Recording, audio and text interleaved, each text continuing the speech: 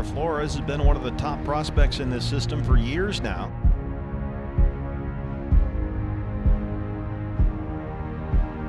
Wilmer Flores with his first major league hit. And they'll take that baseball out of play. That's an exciting moment. The winning run at third.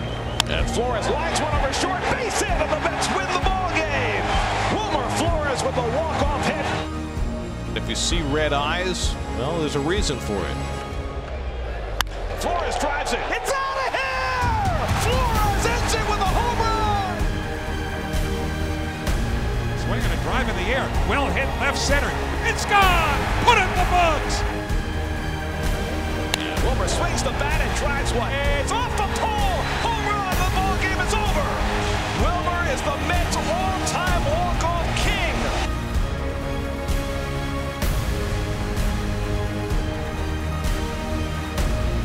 Here's another moment for Flores.